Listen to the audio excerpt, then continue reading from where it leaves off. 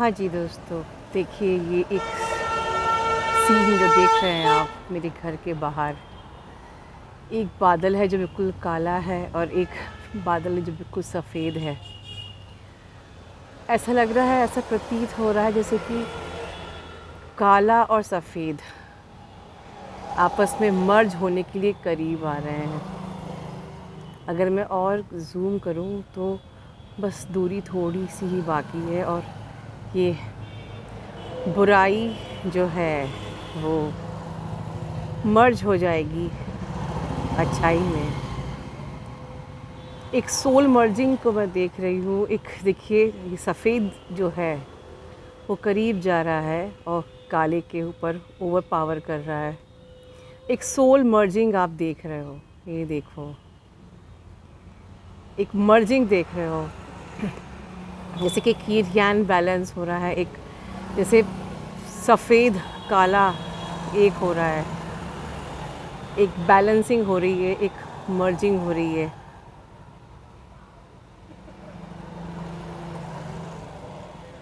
क्या दर्शाता है ये? क्या दर्शा रहा है ये?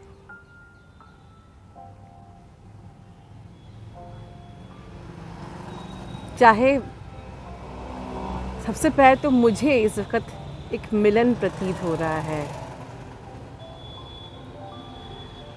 जैसे कि एक मर्जिंग हो रही है, एक मिलन हो रहा है। बहुत ही खूबसूरत सा मिलन। चलिए, अब हम आगे इस पे बात करते हैं। पहले इस खूबसूरत से मिलन को हम देख लेते हैं और फिर समझते हैं कि ये क्या दर्शा रहा है। ये मिलन।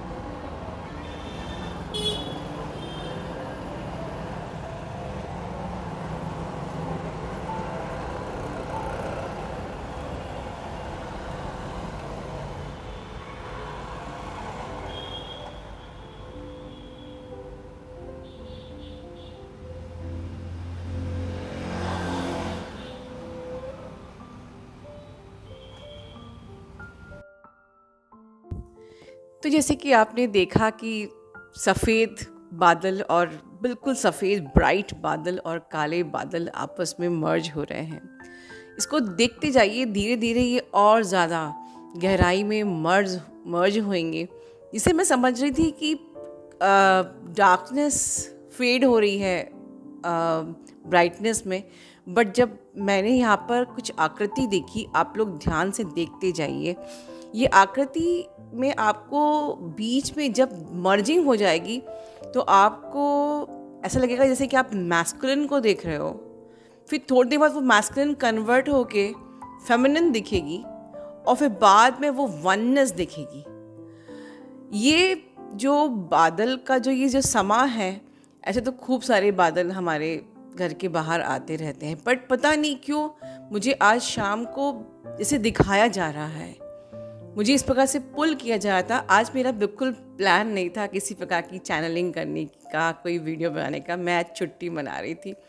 बट यूनिवर्स चाहता ही नहीं है कि मैं छुट्टी बनाऊँ तो अभी मैं बहुत रात में इस वीडियो को बना रही हूँ। मैंने कैप्चर किया और मैंने बाद में समझने की कोशिश करी कि ये मुझे क्या दिखाया जा रहा है कलेक्टिव के लिए क्या मैसेज दिया जा रहा है।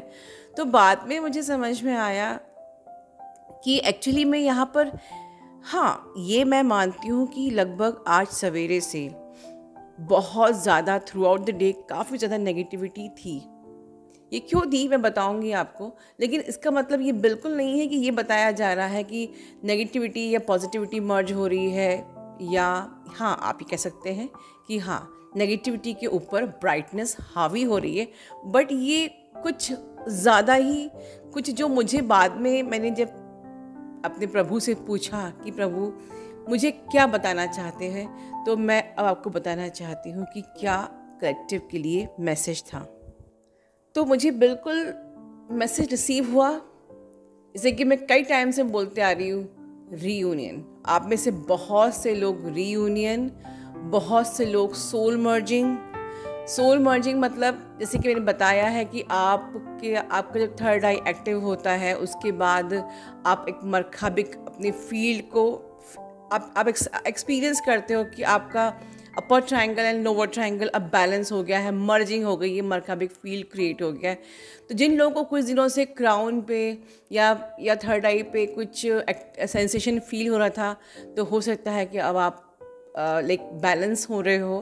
आपका मरकाबिक फ़ील्ड क्रिएट हो रहा है, आप बैलेंसिंग आप एक प्रकार से आपका यिन यान बैलेंस हो रहा है और बहुत जल्दी आप सोल मर्जिंग एक्सपीरियंस करने वाले हो और जो ऑलरेडी सब चीज़ें एक्सपीरियंस कर चुके हैं, उन लोगों का रीयूनियन होने वाला है। कलेक्टिव में मुझे बहुत ज़्यादा रीयूनियन की एनर्जी तो खैर कई टाइम से लगभग एक महीने से आ ही रही थी, मैं आप लोगों से बोल रही थी बट मुझे इस वाक्य ने इस शाम को जो हम ये देख देख रहे हैं इसको देखने के बाद मुझे बिल्कुल कंफर्म हो गया कि बहुत सारे रीयूनियन बहुत सारी सोल मर्जिंग बहुत सारी पॉजिटिविटी ये आने वाली है ठीक है? आ, मैं साथ में ये भी फील कर रही हूँ। जैसे कि जितनी आपने तपस्या करी थी आपको आपकी तपस्या का फल मिलने वाला है। बस ये एट एट पोर्टल के बाद अब सारा जब सब कुछ अच्छा ही होने वाला है। ठीक है थोड़ा बहुत कार्मिक रिलीज़ होंगे। बिल्कुल घबराइए मत। कुछ मिलने के पहले थोड़ी बहुत जो क्लैरिटी हो, होती है कुछ सफ़ाई होती है बिल्कुल थोड़ी बहुत हो सकती है। बट ओवरऑल डीएफ के लिए मुझे सिर्फ़ गुड न्यूज़ ही मिल रही है। ऐसा लग रहा है कि इसे आपने जो मेहनत करी है तपस्या करी है वो उसका फल मिलेगा। और डीएम के साइड से जो मैंने इसको डिकोड किया है, मुझे सिर्फ़ यूनियन की एनर्जी जैसे मिसिंग की एनर्जी मुझे चेजिंग की एनर्जी जैसे कि वो अब अपने लिए स्टैंड लेंगे। और जो ले रहे हैं, मुझे इतने सारे मैसेजेस आते हैं। Out of my hectic schedule मैं कम्युनिटी में बहुत ज़्यादा पोस्ट नहीं डाल पा रही हूँ। पर मैं देख रही हूँ कि बहुत से डीएम कमिटमेंट मांग भी रहे हैं कमिटमेंट दे भी रहे हैं मिसिंग भी मिसिंग भी एनर्जी है चीजिंग भी एनर्जी पर अभी भी जिन डीएम ने बिल्कुल भी अभी कमिटमेंट आपको नहीं दिया है, अगर आप टॉकिंग टर्म में हो, ठीक है, ये तो अभी नया नया आप लोगों का, आप लोगों की बात करना चालू हुई है तो ये मत सोचिए कि वो आपसे बात करना नहीं चाहते, वो बिल्कुल चाहते हैं। इस वक्त सारा का सारा जो कहते हैं ना रीबर्थ प्रोसेस ओवर हो चुकी है डीएम की। मुझे बिल्कुल ये नज़ारा देख के बिल्कुल डिकोड हो रहा है कि रीबर्थ प्रोसेस अब ओवर हो चुकी है। वो अगर अभी भी सामने खुल के नहीं आ पा रहे हैं, कोई दिक्कत नहीं इट टेक्स टाइम अगर वो बट वो आपको चेज़ कर रहे हैं, वो वो आपसे अपनी इमोशंस छुपा रहे हैं, ये हम मान सकते हैं। वो खुल के अभी आपसे अपने दिल की बात नहीं बोल रहे हो। सकता है कि बहुत से डीएम का थ्रू चक्रा अभी ब्लॉक हो, लेकिन उनका लव उनकी मिसिंग एनर्जी उनकी चेजिंग एनर्जी बहुत ज़्यादा स्ट्रॉन्ग है। हो सकता है कुछ डीएम लोग इंट्रोवर्ट भी होते हैं, या वो खुल के नहीं बोल पा रहे हैं, या इनका ईगो उनको खुलने नहीं दे रहा है, या वो शाय हो रहे हैं वो अपनी फीलिंग को छुपा रहे हैं बिल्कुल इट रिक्वायर्स टाइम कहीं आपको भी थोड़ा बहुत कर, आ, आ, सफ़ाई करने की ज़रूरत है कुछ अपनी लेयर्स को पील ऑफ़ करना होगा कि जो वो खुल नहीं रहे हैं। मैंने बताया है ना कि आप लोग जैसे जैसे आप की डायमेंशन बढ़ता जाता है आपकी लाइफ में और ज़्यादा क्लियरिटी आने लगती है वैसे वैसे ही बिल्कुल थर्ड आई के बाद आपके डीएम को भी आपके साथ बिल्कुल, जब हम कहते हैं कि सोल सेम ब्लूप्रिंट है सेम एनर्जी है तो ऑलमोस्ट जब आपकी बैलेंसिंग हो जाती है थर्ड आई पे, उसके बाद जो जो चीज़ें आपके साथ होती हैं एग्जैक्टली exactly वैसे ही उनके साथ भी होता है। अगर आपको क्लैरिटी और ज़्यादा क्लैरिटी आ रही है तो उनको भी और ज़्यादा क्लैरिटी आएगी। अगर आपके कार्मिक रिलीज़ हो रहे हैं, हो चुके हैं तो बिल्कुल उनका भी, उनके भी सारे कार्मिक्स बिल्कुल ख़त्म हो रहे होंगे। और इस वक्त इतनी अच्छी मुझे एनर्जी फील हो रही है ये देख के कि बिल्कुल कार्मिक रिलीज़ हो चुके हैं ऑलमोस्ट ऑलमोस्ट उनकी पूरी रीबर्थ प्रोसेस ऑलमोस्ट जैसे ख़त्म हो गई है।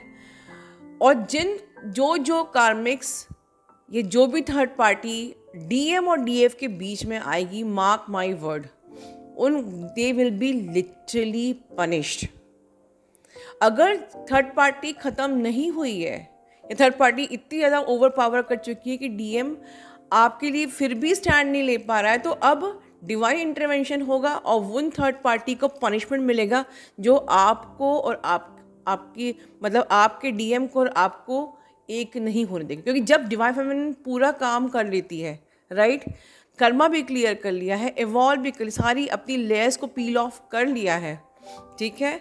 अब अब अटैचमेंट में नहीं हो आउटकम से कोई अटैचमेंट नहीं है, बिल्कुल आप अपनी जर्नी पे फोकस हो, ठीक है? आप, बच्चा कुछ जो भी क्लैरिटी है, आपने कर ली है, उसके बाद डीएम आपकी तरफ़ आ रहे हैं, आपको चेस कर रहे हैं, आपको कमिटमेंट देना चाहते हैं, आपको मिस कर रहे हैं, ठीक है?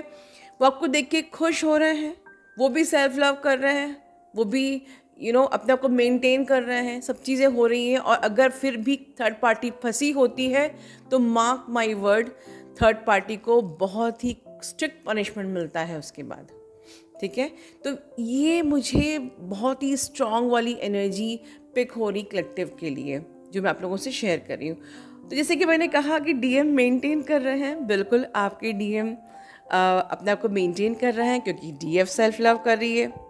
ठीक है? आपकी डीएम बहुत खुश है क्योंकि आप आप लोगों की एनर्जी उनको मिल रही है, पर बहुत ज़्यादा एनर्जी मत दीजिए।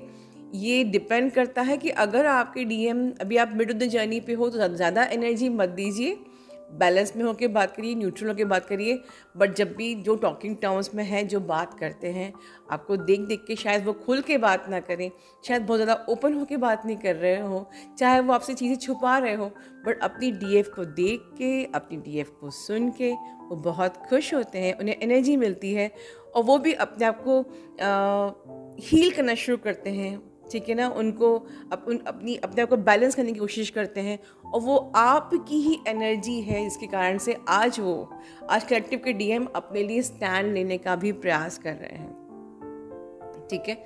तो ओवरऑल मुझे बहुत अच्छी एनर्जी आ रही है। सो so, और भी मैंने डिकोड किया है। ये नज़ारा देख के कि जितनी भी नेगेटिविटी है, आपके डीएम साइड से बिल्कुल रिलीज़ होगी आपकी तो ऑलमोस्ट रिलीज़ हुई है। सेवन सेवन के पोर्टल से एट एट के पोर्टल तक आपने पूरी अपनी कार्मिक रिलीज़ भी किया है नेगेटिविटी भी रिलीज़ करी है, अपनी टॉक्सिसिटी भी रिलीज़ की है। और थोड़ी बहुत हल्की फुल्की है तो बिल्कुल थोड़ा बहुत अभी हो सकती है हल्की फुल्की। ज़्यादा कोई ऐसे टेंशन वाली बात नहीं थोड़ा बहुत ही हल्का फुल्का बवाल हो सकता है ज़्यादा नहीं बट कुछ बड़ा कुछ नहीं होने वाला है ठीक है?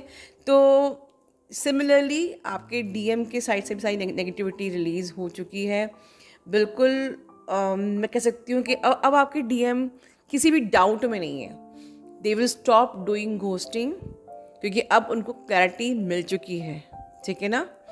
तो ये एनर्जी मैं रिसीव कर रही हूँ। हाँ बस एक ही चीज़ का डर है कि हो सकता है कि किसी किसी डीएम का आउट ऑफ़ द कर्मा अगर सपोज़ आपको सुनने में आता है कि उनकी शादी की बात चल रही है या कुछ इस प्रकार से तो आप घबराइए मत। इस टॉपिक पे मैं बात अलग से वीडियो में करूँगी क्योंकि आजकल मुझे बहुत सारी आम, ऐसी काउंसलिंग आ रही है। किसी ने मुझसे प्रश्न पूछा था कि डीएम जो है उनकी शादी हो जाती है और हम डीएफ लोग होती हैं।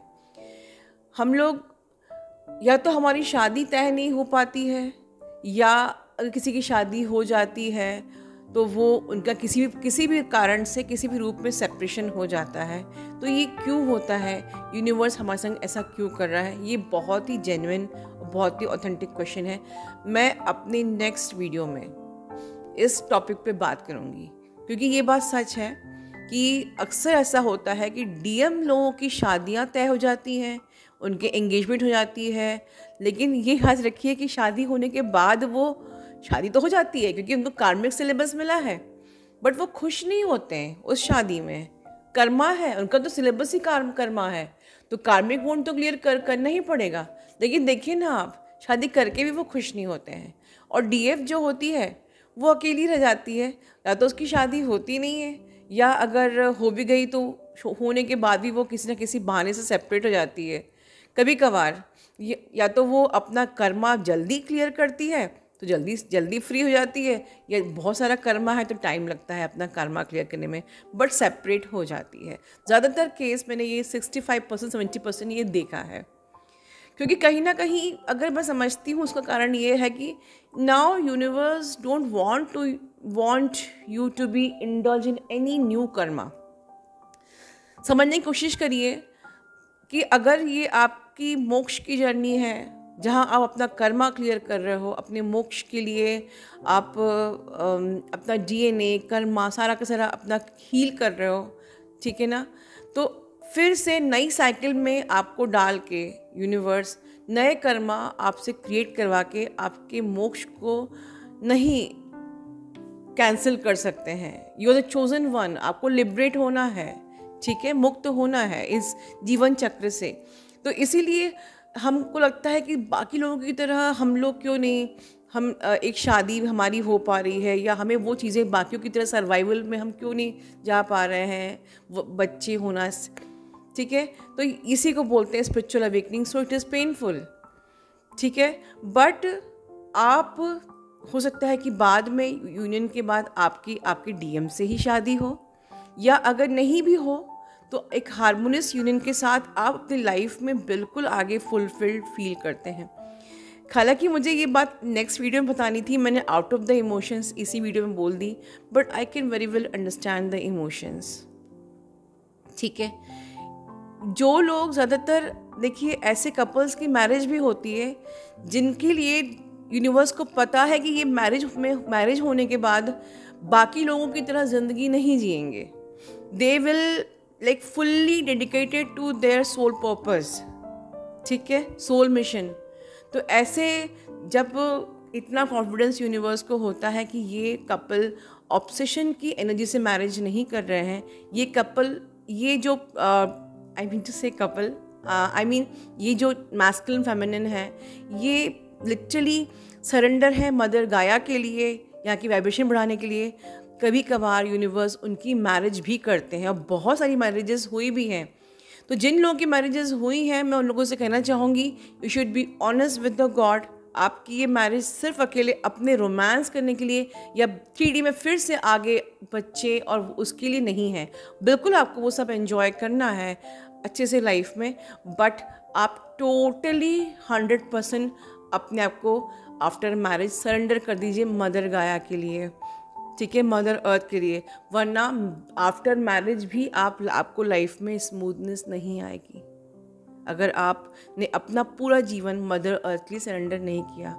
ये सारी चीज़ें बिल्कुल स्टेट डाउनलोड्स हैं यूनिवर्स का, आप लोग समझ लीजिए। देखिए, मैं चैनलिंग करते करते कहाँ पहुँच गई? यूनिवर्स मुझे कहाँ लेके चले गए? चलिए ओवरऑल अब हम बात करते हैं डीएफ की, कि डीएफ की जो टाइम है, आगे आने वाला बहुत ही अच्छा है। हल्का फुल्का अगर कुछ कार्मिक रिलीज़ होता है you should be very careful ठीक है? आप अपना बैलेंस मेंटेन करिए।